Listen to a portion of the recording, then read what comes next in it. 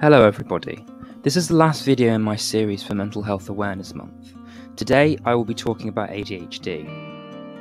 If you haven't already seen the other videos in this series, in which I talk about depression, anxiety and autism, I highly recommend you watch them in the playlist in the description below. Back to this video, I want to structure it in a simple way so that it's easy to follow. Firstly, I'm going to talk briefly about what ADHD is and what causes it. Next, I'm going to talk about whether ADHD is a disorder and the possible negative connotations of this kind of terminology.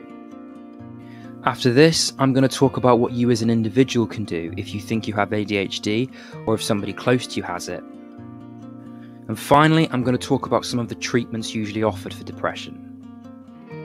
Now, before we begin, please, if you haven't already, like this video and subscribe with the bell icon on so that you can get notifications for any new uploads.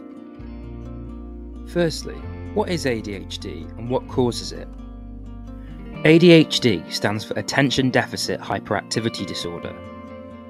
People with ADHD tend to have poor concentration, which is the attention deficit bit, and are more likely to make decisions without thinking, which is the hyperactive bit.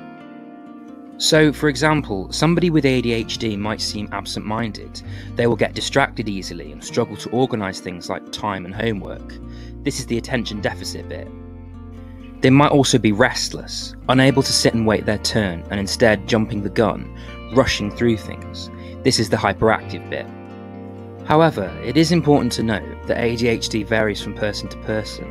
So, for example, somebody might only have the hyperactive bit, but not the lack of attention bit. It varies from person to person. ADHD is more common in boys than girls, and it is generally considered to be caused by genetics. Most people with ADHD have relatives with the condition. Now we come to the question of whether ADHD is a wholly negative condition and whether the term disorder is thus acceptable. Some experts see disorder as a negative term, when to them ADHD is not negative or positive, but simply a different way of experiencing the world. So, for example, people with ADHD are sometimes described as having a race car brain because everything is faster. Race cars aren't supposed to be good or bad, they're just race cars. However, ADHD can have some negative effects, maybe suggesting that terminology like disorder is appropriate. For example, kids with ADHD might struggle at school because they find it harder to concentrate. The impulsive behaviour, the hyperactive bit of ADHD, might also lead to kids with it, kids with ADHD being pushed out of friendship groups because they're thought of as quote weird. The sometimes inappropriate behaviour caused by the hyperactive bit of ADHD might also cause kids with it to feel guilty about their actions and contribute to low self esteem. In the third part of this video, I want to talk about what you as an individual can do if you think you have ADHD or if you suspect that somebody close to you has it. The first thing to do is reassure yourself if you think you have it that it's not your fault. The same is true if somebody close to you has it. It's not your fault or theirs. ADHD is not like a disease. It's not a bad thing. It's like being left handed. Not you, but part of you. The best thing that you as an individual can do is talk about your feelings to your family or doctor, or try to motivate the person who you think might have it to do the same. Exercising, eating well, and getting enough sleep are also really helpful for good physical and mental health overall, but not specifically for ADHD.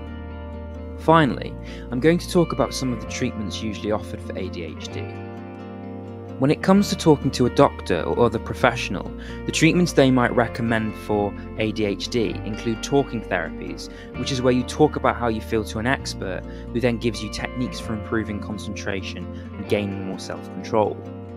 Certain medicines might also be prescribed by a doctor, which increase concentration and lower hyperactivity or impulsive thinking in the brain. Adults, like parents and teachers, can also help by breaking schoolwork up into bits. It is important also for kids with ADHD to be placed away from distractions to make them less likely to lose concentration or do something impulsive. People with ADHD also need to be given regular breaks and taught how to organise things. That's my explanation of ADHD. I hope you found my video interesting and have learnt something from it. Please click on the link in the description to watch more of my series on mental health. And don't forget to like, share, and subscribe. Thanks for watching.